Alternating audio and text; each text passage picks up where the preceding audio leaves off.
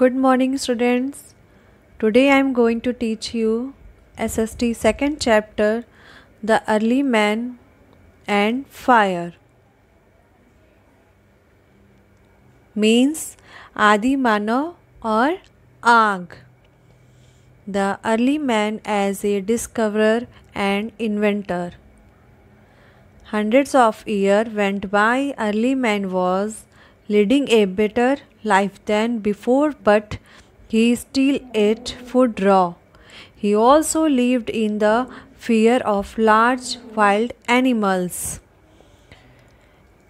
the early man as a discover and inventor means early man एक खोजकर्ता और आविष्कारक जो खोज बीन करे और नए नए चीज़ों का आविष्कार करे बहुत साल बहुत साल बीत गए, पर अर्ली मैन अभी तक रॉ फ़ूड खाते थे।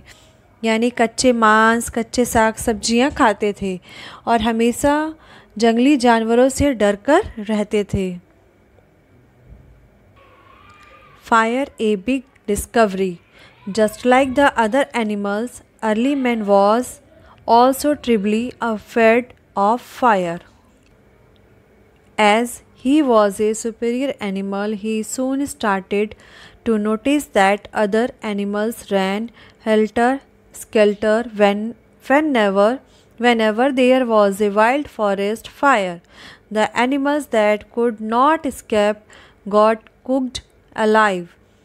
Early man tasted the meat of these roasted wild animals and liked it very much. Early man बाकी जानवरों की तरह आग आग से भी बहुत डरते थे।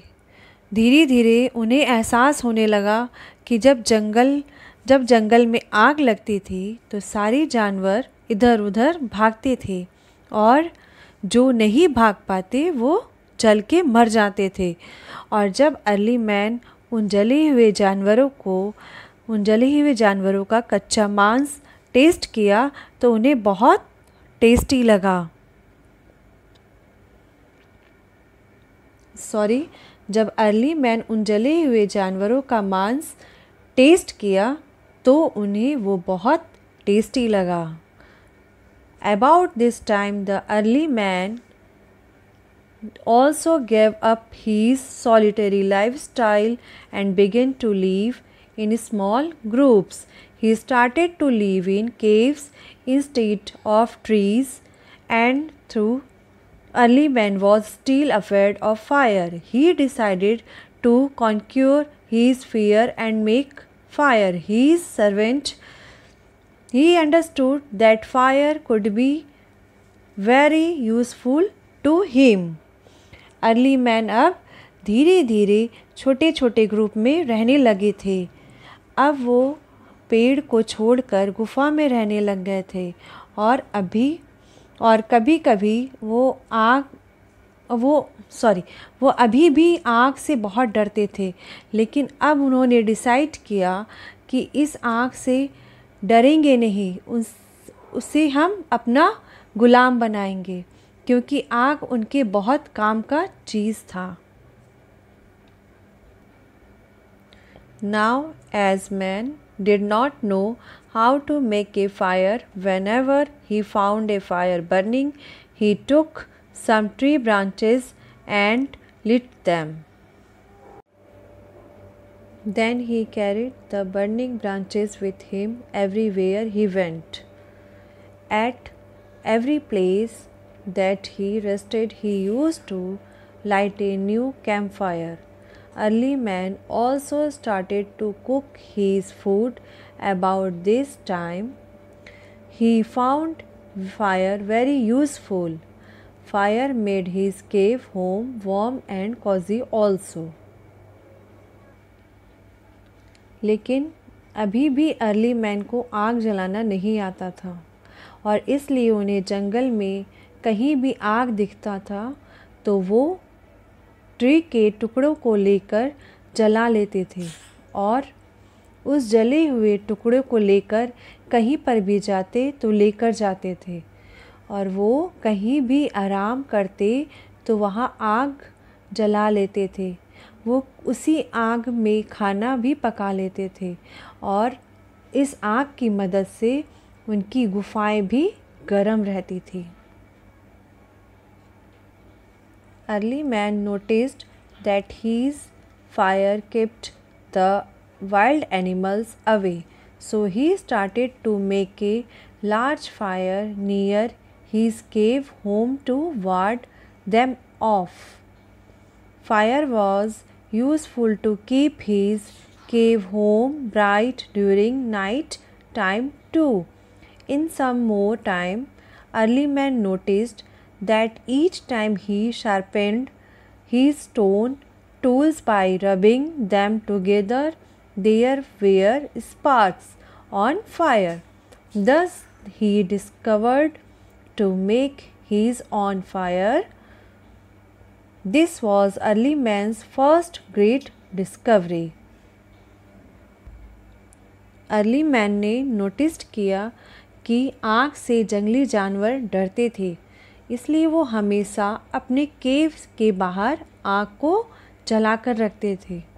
इस आग की मदद से उनका गुफा भी रात के टाइम में रोशन रहता था। कुछ समय बाद अर्ली मैन ने नोटिस किया कि जब भी वो दो पत्थरों को आपस में रगड़ते तो उसमें से आग की चिंगारियाँ निकलती थी और इस तरह से उन्होंने आग का आविष्कार किया। और ये अर्ली मैन के सबसे बड़े खोज में गिना जाता है।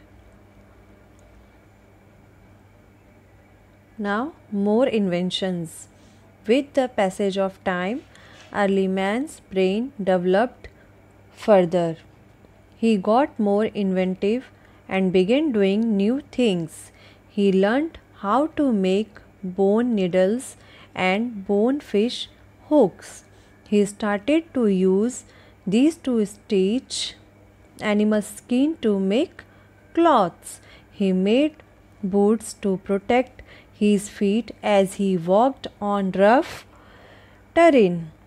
Although man still led a difficult life, he now had plenty of food, suitable clothes, uh, and a comfortable shelter. This comfort and safety gave early man ample time for recreation and relaxation.